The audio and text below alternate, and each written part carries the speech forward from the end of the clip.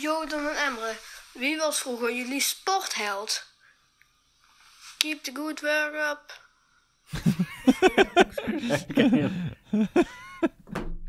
Oeh, Had het sportheld. maar daar gewoon bij gelaten. Ah, was wel lief, was wel lief. Ja, ja, ja. ja. Oké, eh, sportheld. Ja, wat had je? Je had Ronaldo nummer 9. Ja. Dus niet de huidige Cristiano Ronaldo, maar die, die, De die andere. originele Ronaldo. De originele, de eerste, de, Bra- de Braziliaan. Ehm, God, wie had je nog meer? Michael Jordan. Michael Jordan, jezus! Dat was pas een sportheld. hou op met me. Heb je Ja. die docu van hem gezien? Die eh, The Last Dance? Nee, nee, nee, moet ik nog kijken. Hij schijnt fucking goed te zijn. Hij is tering goed, morgen. Ja, ik moet hem echt zien, man. Ik moet hem Wacht, echt wacht, zien. wacht, wacht, wacht. Oké, eh, eh, lul nog even over sporthelden. Ik pak even iets. Ja. Nee, Michael Jordan. De reden waarom ik hem opnoem is ook omdat ehm, echt in zijn prime, of misschien zelfs na zijn prime, ik weet nou niet zo goed of het in zijn prime of na zijn prime was, maar ehm, deed hij ook mee met Space Jam en dat was die ene film. dat eh, was met in de- prime. Dat was in Dat wordt- prime. Ja, dat wordt aangekaart nog in die docu. Ja, en dat is gewoon zijn. Dat is zo'n zieke film met die cartoons. En ik vond dat zo'n vette film. Bro, Met die, bro, eh, wees, je, wees hier even jaloers op. Ziek! Hoe kom je daaraan? Gekocht. Dit is de Sick. nummer 33. Dit is, eh, het is niet een kampioenschapseditie.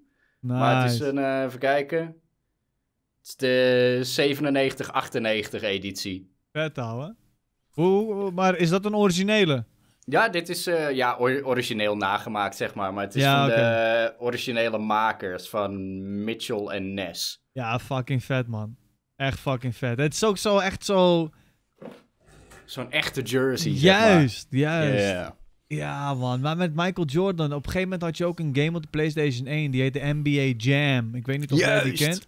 Met die Ja, grote en- hoofden. Ja, ja, ja, ik weet welke je bedoelt. Dat was zo'n vette game ook. Dus ja, ik weet niet. Op, in, in die jaren was basketbal was wel echt aan hoor. Qua, met, met Michael Jordan was het echt gewoon sky, sky high. Klopt. Maar op zich, dat heb je nu op zich ook nog wel met, eh, wat is het, LeBron James en zo. Ja, ja, klopt. Ja, je hebt eigenlijk altijd wel zo'n, echt zo'n icoon gehad. Want na Michael Jordan had je Kobe Bryant. Na Kobe Bryant had je LeBron James. Of Ja. tenminste, tijdens eh, Kobe Bryant had je ook nog Shaq. Ja, ja, ja. die hadden ook een overlappende periode. Ja. Ja, je hebt gewoon een aantal gasten die dan ook eh, heel slim omgaan met dat ze ook wel eens dingen in de film- en gamewereld kunnen doen. En Ja. dan, dan schiet je echt omhoog in publiciteit. Ja, maar als je inderdaad buiten je sport om bekend raakt... want over het algemeen kijk ik niet echt basketbal... Ja. maar als je, ja, als je dan wel een Kobe kent en een Shaq en een LeBron James... ja, dan doe je het toch wel goed. Dan sta je echt aan de top. Ja, klopt. Ehm, maar echt een sportheld voor de rest. Ja, je, had bij, je had een speler had je, eh, bij Galatasaray. Hij heette George Hadji. Dat was een Roemeense speler. En hij was tering goed, bro. Dus dat was voor mij wel echt een held in die tijd. Dat was zo'n Ja, ja, ja. voetbalspeler. Eh, ja, en ook die Nederlandse klassieke gasten, bro. Zoals Bergkamp en Overmars en dat... eh, Ja, Kluivert, eh. Het is gewoon eigenlijk het Nederlands team in zijn geheel van vroeger. Het, het, Ja, die mijn gevoel was dat had je gewoon- ook nog. dat was gewoon, dat was gewoon een, een team met alleen maar toppers. Ja, ja, ja. Eh, even kijken, Ronald en Frank de Boer van de Saar. Bro, Eh, dat was welke- zo... Van Nistelrooy. Dat Juist. waren zulke zieke spelers, waren dat. Eh, een Nederlands team, wat was dat, 1998 of Ja, 2000 zoiets. of zo? Ja, we 98 eens even kijken wat er al in zat. Clarence Seedorf, Philip Cocu, Bro, hoe dan, bro? Het zijn allemaal klassieke guys. Pierre van Hooijdonk, eh, Gio- Giovanni van Bronckhorst ook nog. ja. Ja, God, wie had je nog meer? Winston Bogarde. Mhm. Eh, wat is echt er eentje die nog uitsteekt? Arthur Numan, maar die is wat minder eh, bekend uiteindelijk. Die ken ik niet echt, nee. Nou, als je hem ziet. Roy Mackay, die ken je nog wel. Ja, ja, ja, ja, ja, sowieso. sowieso. Ja, goeie shit, man. Goeie shit. maar Het die heeft als- ook gewoon nooit een kampioenschap gewonnen, toch? Of wel? Wie? Wat, dat, dat elftal. Ehm, Want dat bleek een van onze ziekste elftallen ooit te zijn. Ja, maar in die tijd, hè, kijk, als je dan kijkt naar qua elftallen, is het. Ehm, het bleek een van de ziekste elftallen ooit. Maar als je dan keek bijvoorbeeld naar een Frankrijk met, met een Zidane en een Henry en een Juist. Barthez op doel. Of je kijkt naar Brazilië met Ronaldinho, Roberto Carlos, Rivaldo, Ronaldo, Romario. Al die... Bro, er waren zoveel landen met zulke zieke spelers. Ja, wacht. Ik pak die van Frankrijk er even bij. Even kijken. Frankrijk was ook fucking gestoord. Die was lijp. Ja. Die was helemaal lijp. Ik weet nog goed, met Pro Evolution was eh, Henry was echt een van mijn favoriete spelers om mee te spelen toen. Ja, man. Henry was lijp. Is heel, heel ziek. Ja, wat is het? Frankrijk 2000 team of zo? Je had ook nog Patrick Vieira. Ja, Inderdaad, Thuram en zo. Thuram. Ja. Desailly heb je nog. ja. Uh, Trezeguet Lloris volgens mij ook nog zo'n guy, of niet? Zit hij er ook nog? Vast wel hoor, maar ja, het het is, ik kan niet even dat team. eh, oh, bekende oudspelers. Hmm. Hoe, hoe heet hij niet? Trezeguet. Oh, Trezeguet. Ja, David Trezeguet, ja. Ja. Eh, je hebt Frank Ribéry nog. Ribéry. Bro, Ribéry ook ziek, maar die was iets, iets later wel. Maar die is ook gestoord. Ja, man. Wat een teams, man. Ik heb het gevoel dat ze in die tijd zo van die volwassen mannen aan het voetballen waren. Nu zijn het allemaal jonge guys. En toen was het gewoon zo allemaal van die oude mannen. Maar het, Klopt, dat ja, misschien zo. Ja, nee, maar dat gevoel heb ik inderdaad ook hoor. Want het is echt gewoon. eh, volgens mij bestaat het huidige Nederlandse elftal echt heel veel uit jonge guys ook gewoon. En dan heb je misschien Ja. één of twee, drie eh, eh, oudere guys om ze dan een beetje te begeleiden, zeg maar. ja. Klopt. Dat, dat gevoel krijg ik. Net maar ja, zoals ik- als je dan kijkt terug, of in. terugkijkt naar, eh, naar een Evander Holyfield met zijn fucking dikke snor. In die tijd dacht ik gewoon, die man is 50. Terwijl hij is gewoon, was waarschijnlijk in de 20. Ja, ja, ja. Het was zo snor, volwassen. Ja, klopt. Ja, andere, andere tijden, morgen. Ik bedoel, dat was wat, eh, jaren tachtig? Ja, zoiets man. Ah, sick hoor. Andere tijden, andere tijden. Ja, sport, eh, sport is...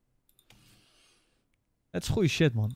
Ik weet niet. Het is gewoon, je hebt gewoon soms van die, echt van die uitblinkers. Je hebt soms gewoon mensen die, die hun tijd ver eh, vooruit zijn. Als in, het zijn van die, van die ehm, mensen die, die in die wereld dan heel erg uitblinken. Zoals een eh, Mohammed Ali bijvoorbeeld in de bokswereld. Terwijl er waren ook hele zieke andere. George Foreman had je toen. Je had toen... ehm, eh, kut, hoe heet die andere guy ook weer? Fuck, ben zijn naam kwijt. Nou, maakt niet uit. Eh, je hebt dus verschillende gasten in de, in, de, in de bokswereld, maar ook bijvoorbeeld in de voetbalwereld had je bijvoorbeeld zo'n eh Pele, maar ook bijvoorbeeld eh, andere spelers, een Maradona. Maar dat zijn van die paar kernfiguren die zoveel beter waren dan de rest. Kruif, Ja, I don't know.